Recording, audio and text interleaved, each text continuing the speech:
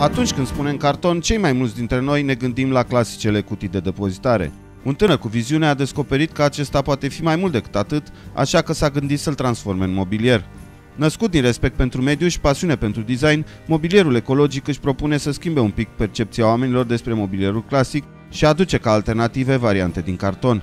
Ca orice idee a apărut dintr-o necesitate. Uh, acum vreo trei ani am închiriat un apartament nemobilat.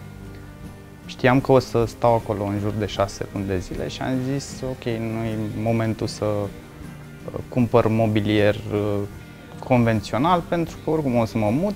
Am studiat diverse materiale și cel mai versatil pe care l-am găsit a fost carton. De aici, până la intuirea adevăratului potențial, nu a mai fost decât un pas.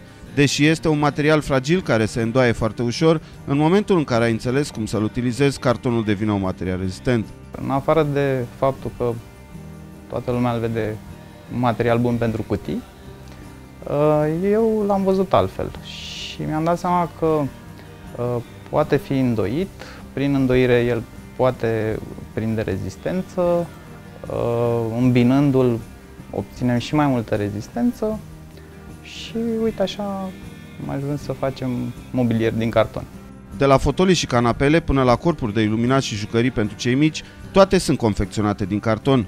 Greutatea pe care o poate suporta un fotoliu, de exemplu, depășește 100 de kg și ajunge chiar la 150. Astfel, absolut orice persoană se poate așeza confortabil, fără teama că fotoliul sau canapeaua s-ar putea rupe. Cartonul este cumpărat de la o fabrică din România, este 100% ecologic, 98% din fibrele uh, din carton sunt reciclate. De concepte se ocupă chiar fondatorul acestui proiect, împreună cu o mică echipă de designeri, iar producția se face tot în atelier cu ajutorul unui echipament special. În funcție de obiectul pe care vrem să-l obținem, avem mai multe tehnologii la îndemână.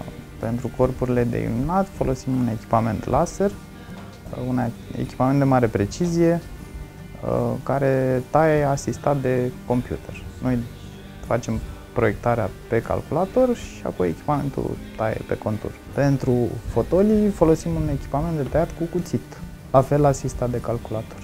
Atât mobilierul cât și corpurile de iluminat se livrează dezasamblate în pachete compacte, iar asamblarea lor se face foarte ușor, fără a avea nevoie de lipituri, șuruburi sau unelte speciale. Acest fapt le apropie de ideea de jocuri de construcții pentru adulți. În plus, pot fi personalizate cu mesajul sau culoarea dorită. Pentru lustre, uh, momentan uh, am ales o variantă mai uh, anevoioasă, să spun așa. Le pictăm manual le aplicăm o culoare de fundal și apoi le dăm o patină metalică de rugină, depinde de cererea clienților. De întreținut se întrețin la fel de ușor ca orice alt mobilier, se șterg cu o cârpă uscată. Singura restricție este să nu intre în contact cu apa pentru că până la urmă e carton. Cât despre feedback-ul clienților, viitorul și deschiderea consumatorilor către inovație sună promițător. Am observat că oamenii sunt foarte încântați, sunt deschiși la nou și în ultima vreme sunt și mai responsabili cu mediul.